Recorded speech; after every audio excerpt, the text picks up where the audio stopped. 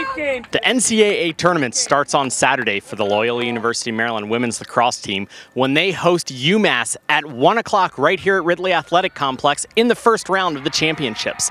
The Greyhounds are making their first appearance in the NCAA since 2004, just a couple of days after winning their first ever Big East Conference championship.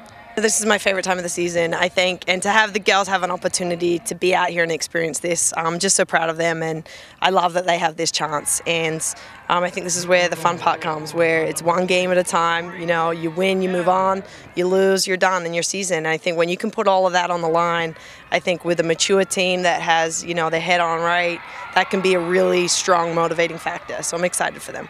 The Greyhounds in Massachusetts are unfamiliar with each other on the field, but at this time of year, everyone is a top contender. For the little bit of, of scouting we've been able to do so far, um, we're seeing a tough team that we're going to face on Saturday, and I know that we're going to have to come ready to play.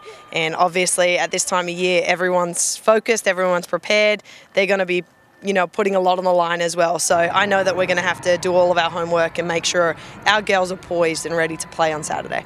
You can get your tickets by logging on to www.loyolagreyhounds.com, your home for all things Greyhounds on the web.